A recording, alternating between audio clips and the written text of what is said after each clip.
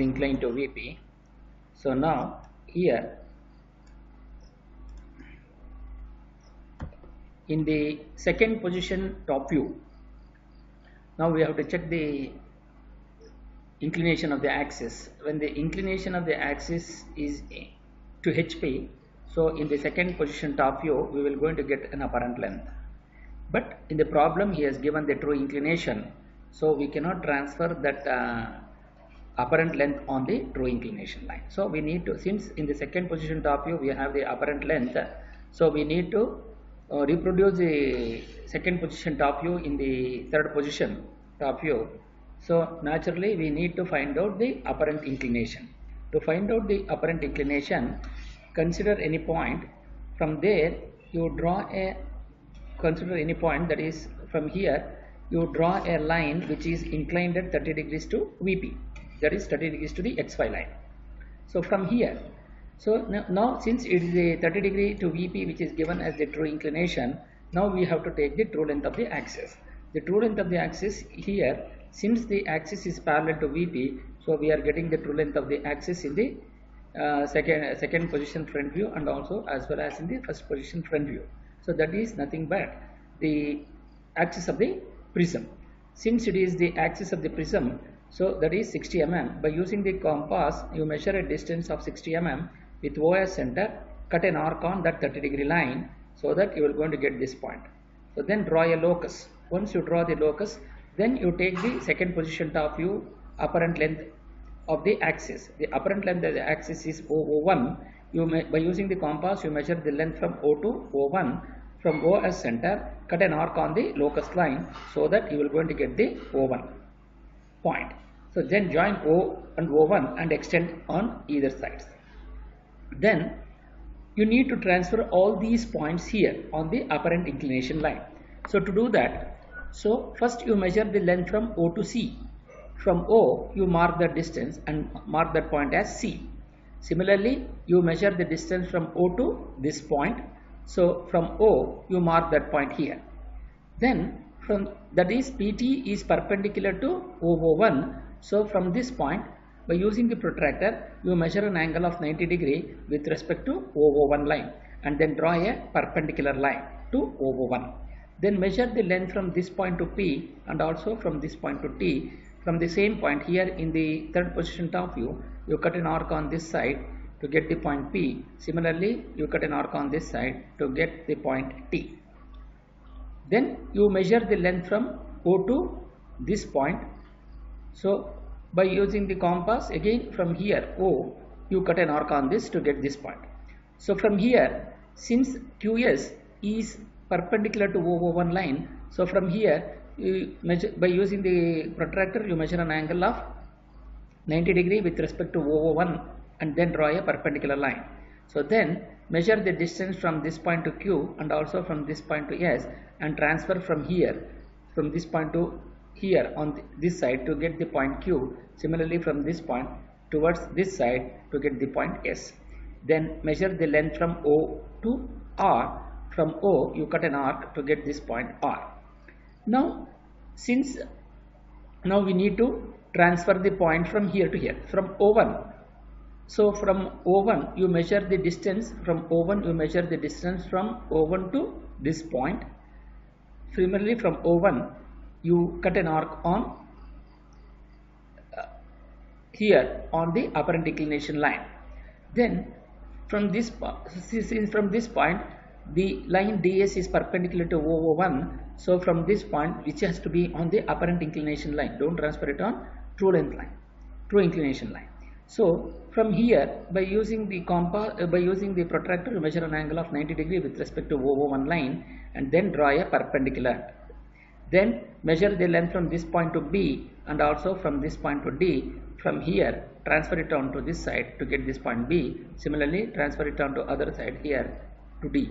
Now since you have already got P and T which has been joined here so from P from P you see since uh, AP is perpendicular to PT so since you have already have a PT so from here you by using the protractor you measure an angle of 90 degree with respect to PT from P you you measure the distance and draw a perpendicular line to PT.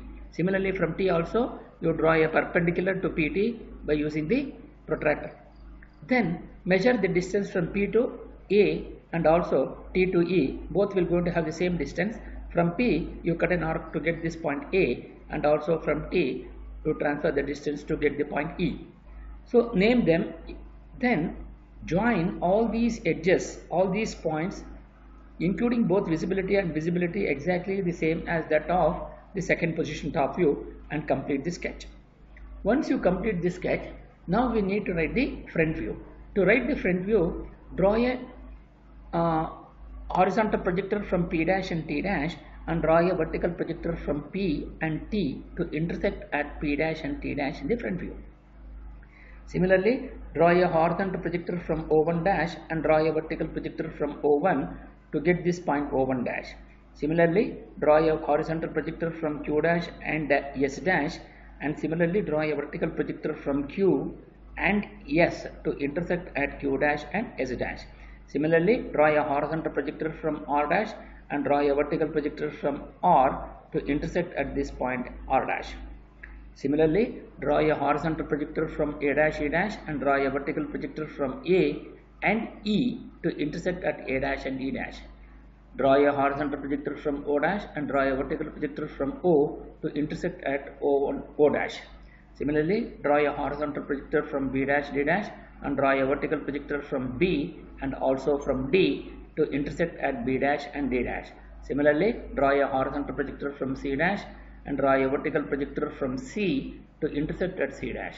Once you transfer all, once you project all these points, then you need you need to join them with continuous thin lines so to do that join between a dash to b dash b dash to c dash c dash to d dash d dash to e dash and e dash to e dash e dash to a dash with a continuous thin lines then similarly draw uh, join between p dash to q dash q dash to r dash r dash to s dash s dash to t dash and t dash to p dash once you do that then that is the top surface and the bottom surface has been joined together then we have to join the longer edges which are the a dash to p dash then b dash to q dash c dash to r dash d dash to s dash and e dash to t dash and join o dash to o1 dash with a center line mark now we need to uh, write the visibility and invisibility so here all the exterior edges of the boundaries of the solids are visible so you start from a dash to p dash p dash to t dash t dash to s dash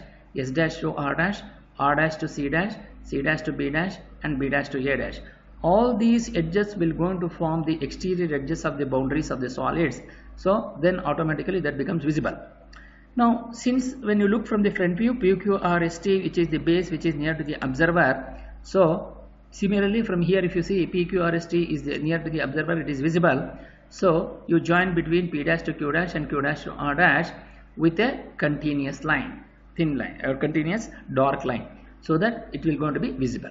So from the point Q dash there are three emanating edges. One is P dash to Q dash, other one is Q dash to R dash and the last edge B dash to Q dash. Since you are joined between Q dash to P dash and Q dash to R dash, now you join between Q dash to B dash with a visible edge because P dash Q dash and Q dash R dash is visible therefore B dash Q dash is also becomes visible. So once you get this now we need to understand about A dash to E dash, E dash to D dash and D dash to C dash. Now since P dash Q dash is visible edge, so E dash T dash is crossing that visible edge, so it will go into it will so now we have to apply the two uh, condition that two visible edges can never cross each other. So since P dash Q dash is visible, therefore E dash T dash becomes invisible. Similarly, D dash to S dash, similar because Q dash R dash is visible, therefore t dash S dash will become invisible.